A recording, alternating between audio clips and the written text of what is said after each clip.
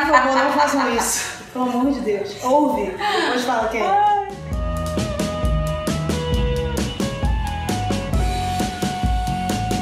Oi, gente, tudo bem? Eu sou a Duda Beat. Eu sou a Sala Beat, eu sou Mamundi. Estamos aqui no Reverb. Isso aí. Top métodos para superar uma decepção amorosa. Muita gente tem falado que meu disco ajudou muito no final de um relacionamento, é, no final de um casamento. Então acho que escutar meu disco é uma lição de vida para, para relacionamentos fracassados, tipo os que eu tive, né? Vou fazer um comentário aqui, nossa, que tem uma parte que fala, visto que.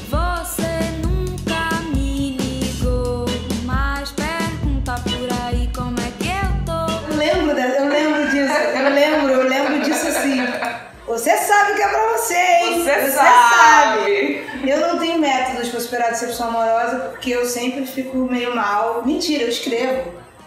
Eu escrevo pra caramba. E aí, às vezes, as pessoas falam, ah, aquela música você fez pra mim, né? Eu falei, não. Ela aconteceu. Veio agora, pra você já é um pouco demais. É. Mas eu confesso que eu também fico meio, meio murchinha. Assim, eu me dou o tempo de superar. Isso eu transformo né, em alguma coisa, acho que é muito importante. E uma coisa que eu fazia muito, é uma loucura agora, mas que eu fiz muito, era ouvir Cícero Down e malhar. É, porque eu ficava, tipo assim, com raiva, sangue nos olhos.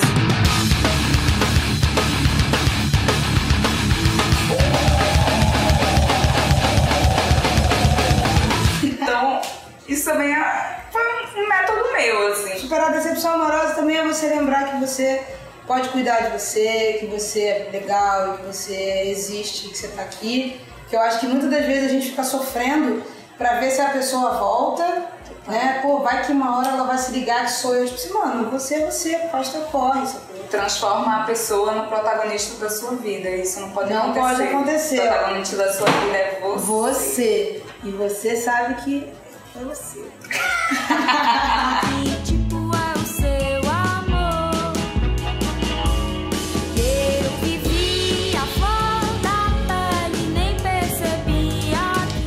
Melhor tipo de comentário para se receber em fotos. Eu tenho uns ótimos. Eu tenho uns ótimos, né? Fada sensata, rainha informada. Eu me formei, né? Sou formada. E eu adoro. Eu fico assim, gente, maravilhoso. Rainha formada, eu amo. Tem os, os jogos de palavras, né? Rainha sensata, fada formada, rainha acessível. Adoro rainha acessível. Eu gosto da sequência. Nossa, ícone perfeita, incrível, nunca errou. Ah, essa pra mim é a melhor. Foi a resolução do meu ano de 2017.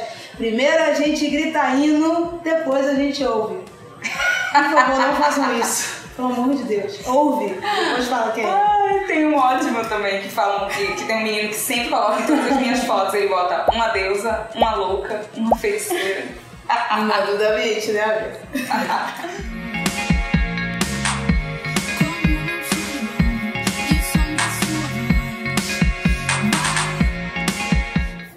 Mulheres no mercado da música brasileira.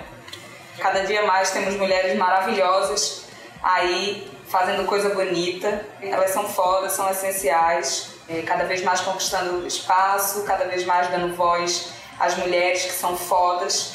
Estar aqui agora em 2019 fazendo esses trabalhos, acho que é muito significativo pra gente aqui. Muito, totalmente. sempre quis isso e estava tentando achar uma brecha no mercado e acho que a gente chegou no momento que pode, né? cada vez mais temos que nos afirmar nessa parada, porque é um mercado que tem muito machismo, né? Infelizmente, a gente passa por poucas e boas. E ainda mais eu, né, que falo sobre amor, sempre me apaixonava por músicos e agora tô, tô aí tirando onda na cara de todos eles. Isso é o maior exemplo de mulheres na música brasileira. Aquele músico dá uma judiada, ó. Eu não pego mais música, por exemplo. Ai meu Deus! Por que também ouvir artistas de fora do eixo Rio-São Paulo? Cara, por quê? Por quê? Porque não existe só o eixo Rio-São Paulo. É, eu sou de Recife, gente. Só querendo deixar claro Pelo amor aqui. de Deus. Moro aqui no eixo Rio. Mas sou de Recife. Lá em Recife tem um monte de artista foda. E na Bahia também. A cena baiana tá aí crescendo, vindo com tudo. Então não escutem só artistas daqui. Tem artistas no, no Brasil inteiro. Pará também, né? No norte. Sim. No sul também. Aí. Tá vendo? Vamos Muito artista fora desse eixo. Eu acho que a gente sofreu por muito tempo isso como se o Brasil fosse o trabalhador de São Paulo e os que se diverte no Rio. assim. Eu acho que o Brasil é muito maior e as vozes femininas, tipo, de várias meninas do Pará, de Recife, de, de, sabe? De vários lugares do Brasil, assim, que estão surgindo por conta da internet. A gente é um exemplo disso, assim. Hoje a tecnologia possibilita você a poder ver todas as pessoas do Brasil. Não seja uma pessoa seletiva e elitista de achar que só Rio São Paulo serve. Mas, realmente. O ensinamento do Sinto Muito é você aproveitar a sua fossa e depois transformar a sua fossa em algo concreto para você. E no final se empoderar disso. Eu acho que o maior ensinamento que eu quis passar é isso. Eu acho que a gente não pode ignorar que existe uma fossa, porque isso é não viver aquilo e é mascarar uma coisa que depois a bola estoura pra frente. Você tem que viver aquilo sim, se permitir viver aquilo sim e depois em um determinado momento parar e pensar assim, o que é que eu vou fazer a partir disso pra mim? Isso eu acho que é o mais importante do meu disco, assim. O ensinamento para dias ruins, eu acho que foi é, muito o que aconteceu comigo, assim. Eu acho que superar dias ruins é exatamente isso. Encarar o dia ruim de frente e tomar uma decisão. Porque eu sei que tem vários casos de ansiedade, de depressão, pessoas que acabam recorrendo para suicídio, pessoas que acabam se isolando.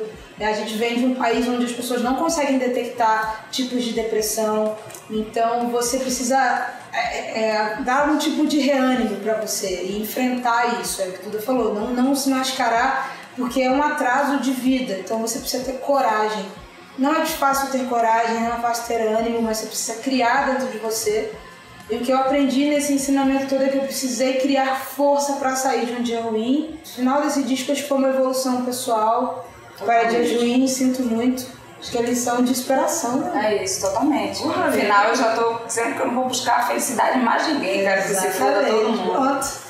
Eu termino disco falando que eu quero ser o mar. Beijo, Beijo, reverb, bebam água, evitem relacionamentos abusivos, ouçam músicas fora do eixo Rio São Paulo, ouçam Tuda Beat, ouçam Mamundi e, por favor, saiam do Instagram e conversem com as pessoas. É mesmo.